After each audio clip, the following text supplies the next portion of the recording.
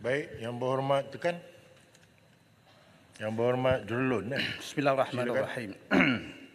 Menyentuh tentang Akta Majlis Perkhidmatan Parlimen khususnya berkaitan dengan peruntukan kepada ahli Parlimen Pembangkang.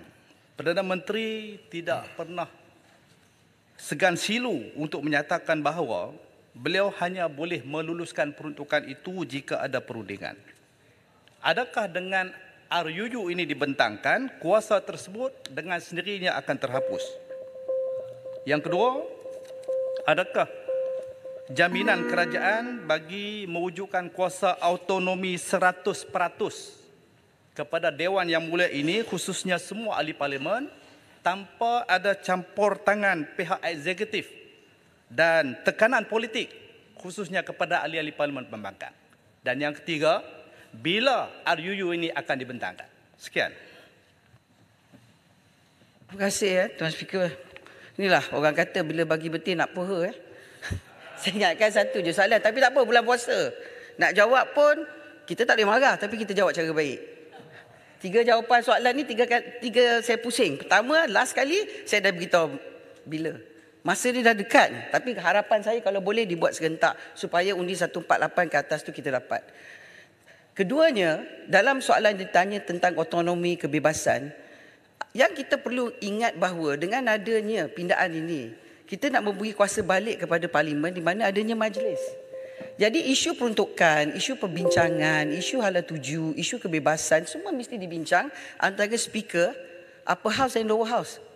Tuan Yang Speaker. Maknanya inilah hubungan antara peranan kebebasan yang dimainkan oleh yang dipetua Dewan Rakyat dan Dewan Negara. Jadi ahli-ahli parlimen kita yang ada dalam dewan ini, kita terikat dengan parti kita, dengan ketua whip kita.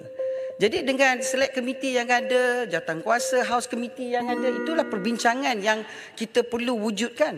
Dengan adanya pindaan ini, sekurang-kurangnya kita dapat mulakan satu perbincangan secara terbuka, peranan yang lebih tepat dan lebih besar kepada ahli parlimen menjalankan tugas. Kerana kami di sini tak kisah kerajaan ataupun pembangkang kami di sini kerana kami diletak oleh rakyat. Kewangan yang kita buatkan undang-undang untuk pindaan undang-undang lulusan untuk kewangan tiap-tiap tahun di segi belanjawan adalah duit rakyat. Itu sebabnya kami sebagai ahli parlimen kerajaan ataupun pembangkang bertanggungjawab pada rakyat. Perbelanjaan yang diberi juga adalah kita mesti bertanggungjawab pada rakyat. Itu sebab harapan daripada pihak kerajaan, permulaan perhubungan ini ialah mewujudkan pindaan kepada perlembagaan. Dan pindaan inilah akan memulakan pelbagai lagi uh, apa dia satu bentuk perhubungan yang baru antara parlimen dan juga pihak eksekutif. Inilah yang diharap oleh kerajaan kepimpinan Yang Amat Perdana Menteri yang ke-10.